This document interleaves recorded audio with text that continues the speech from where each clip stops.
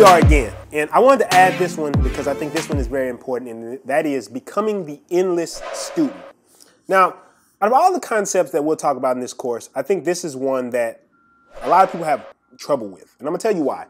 So, a lot of times we grow up in the school system, right? So, me, I'm a product of the school system. I actually dropped out of school because I felt like it wasn't getting me where I wanted to go. But here's the thing we're taught that after we go to school and we get our education, that's it. We should stop learning. That's we're done, right?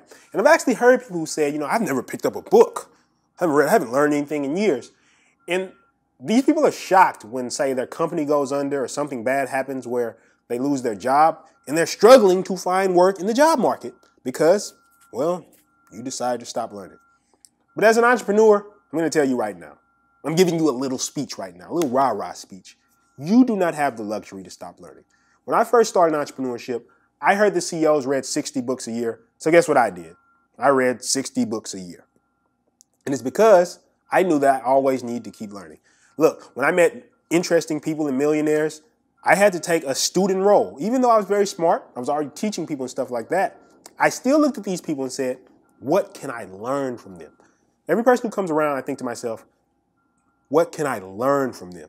And that's the same thing you need to understand when it talk when it talks about being an entrepreneur. Look, an entrepreneur doesn't stop learning. You need to always be refining your processes, refining your strategies, learning from interesting people, getting interesting talent around you so you can continue to learn. I always recommend reading books, but maybe you don't absorb knowledge like that. So you need to be taking resources just like the one you're in, even if it's a different resource from this, and learning things in order to improve your business. This is so simple and this is so day one, but I've seen so many entrepreneurs just skip over this because they think at a certain point they can read one book and then finally they stop learning. Me, the reason I'm constantly putting out new stuff is because I'm continuing the education. I'm going to continue your education. I'm going to give you more advanced ways to do stuff. I'm going to give you better ways to do stuff. I'm going to give you stuff that's at, the beginning level, stuff that's at the advanced level. I'm going to give you all this stuff because I understand that no matter what, you need to constantly be learning. So with that being said, I just wanted to break this down a little bit for you. This is a short little video that I wanted to add on here, but this concept is huge.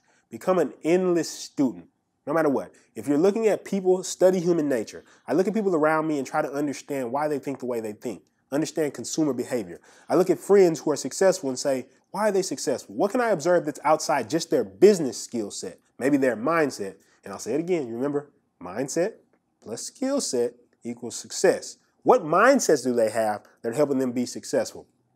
And then from that standpoint, I don't care how old I get, how much I go in business, I'm always going to be looking for new ways to learn. So if you want to be truly successful, anybody, anybody who's successful, Warren Buffett, richest man in the world, or at least was the richest man in the world at some point, he reads 700 pages a day. He's reading 700 pages a day.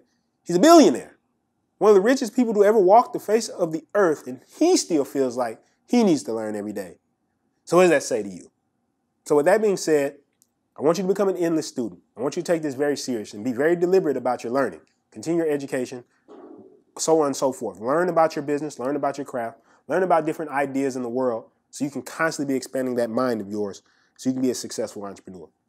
With that being said, that's my time.